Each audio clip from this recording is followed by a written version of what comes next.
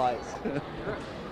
Hey, share your Christmas, share your Christmas 2019. It doesn't happen without Silverdale Baptist Academy. You guys, every single year, 190 years, you guys have been doing this. Did you know that?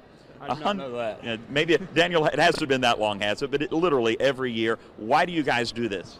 Uh, we see it as a great opportunity for our kids uh, to see service in action. So, you know, we're down here at 5 o'clock in the morning with our senior class, Jacob being one of those guys, and we're here all day with our kids rotating through. So, uh, we, we teach and we preach service, and this is a great opportunity to serve the community.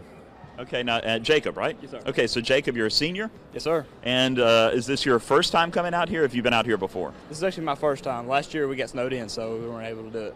Yeah, the big snow of 2018. I remember it well. Kept me from coming out here as well, and I hated it. So, talk about your uh, your experience so far. What do you like about this?